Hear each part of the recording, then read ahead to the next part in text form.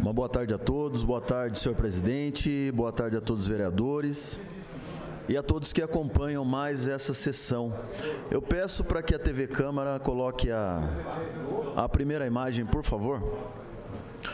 Bom, pessoal, esse, esse animalzinho, esse, eu tenho que falar que é um cavalinho porque ele é muito pequeno mesmo. Muito pequeno. É, pode voltar para mim agora, TV Câmara, por favor.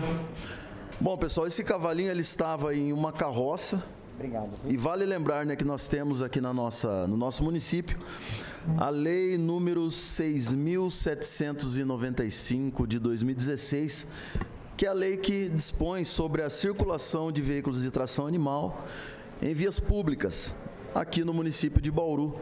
E também tem a lei número 7055 de 2018, que proíbe a criação de animais de grande porte dentro do perímetro urbano de Bauru.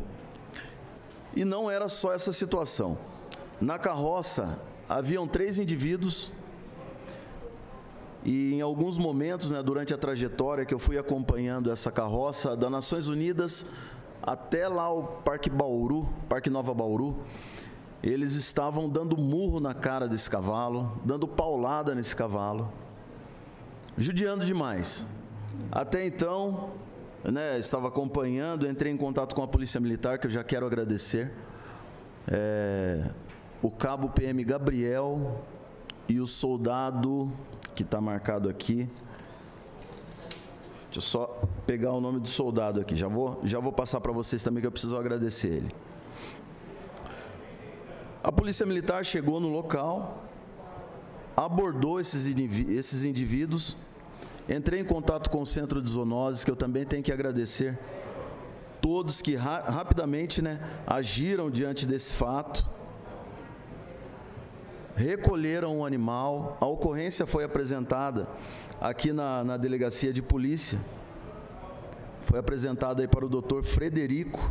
E que é lógico, né, que o indivíduo aí pague por essa, por essa situação, mas eu tenho que que ressaltar né, que essa ação foi feita ali preocupado com, com o animal. E é lógico que nós temos a, a lei municipal aqui. Então, aqui, ó, o soldado PM Aguilhar.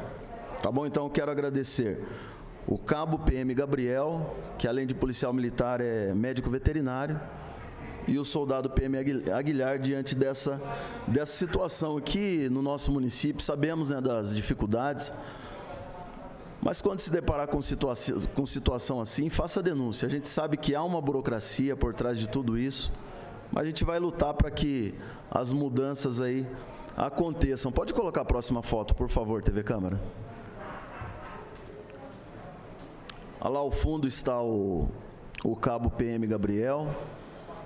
A situação ali do, do cavalo, né, atrelado aí à carroça. A próxima foto. E esse foi o momento né, da, da chegada aí da Polícia Militar, que mais uma vez eu agradeço aí pelo, pelo atendimento tão ágil que foi. TV Câmara, próxima imagem, por favor. Bom, pessoal, essa foi o atendimento do órgão do, de trânsito né, do nosso município, que foi. Pode voltar para mim, TV Câmara? Obrigado. Que foi a implantação de duas lombadas ali na rua Antônio da Silva Souto, na Vila Pacífico.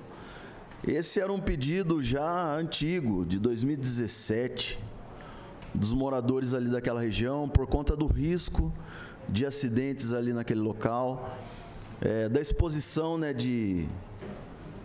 Ou melhor, né, dos atropelamentos que já estavam acontecendo, dos animais ali que alguns moradores cuidam e os moradores também fazem caminhada próximo a essa rua e os veículos estavam passando ali em alta velocidade. Então esse foi um pedido da Andréa e da Pati, que são moradoras ali daquela, daquela região, que já haviam feito esse pedido aí antigamente. Eu apenas cheguei para reiterar e para expor mais a fundo a situação ali, o risco, né?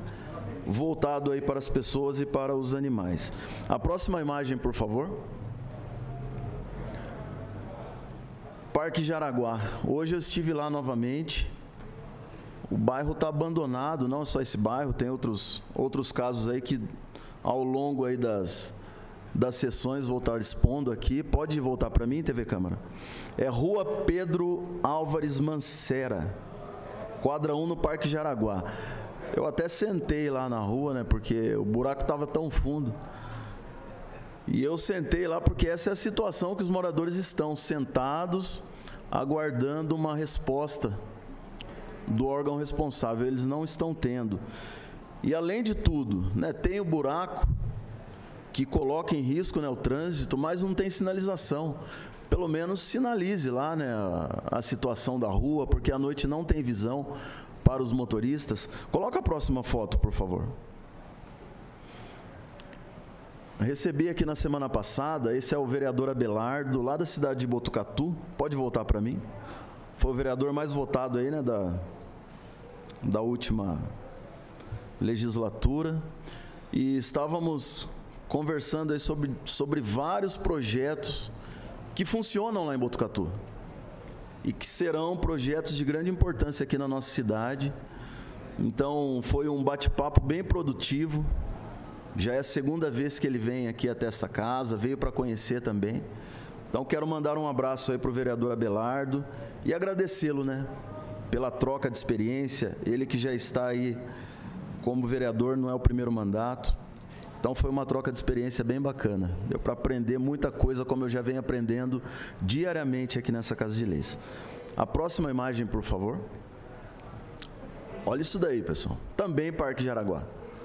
Eu tive que entrar dentro desse buraco aí, porque não tem sinalização. Os moradores que sinalizaram, colocaram lá um pedaço de pau, colocaram uma, uma camiseta branca lá, rasgada lá, para estar tá sinalizando. E o risco é muito grande. Entrei em contato, aí pode voltar para mim, TV Câmara? Entrei em contato com o órgão responsável pela sinalização viária, para que vá até lá e sinalize até que o departamento de água e esgoto vá até lá para fazer o reparo desse local. Bom, pessoal, havia, tinha mais coisas aqui para falar, mas já está de bom tamanho. E um grande abraço a todos e que Deus nos abençoe.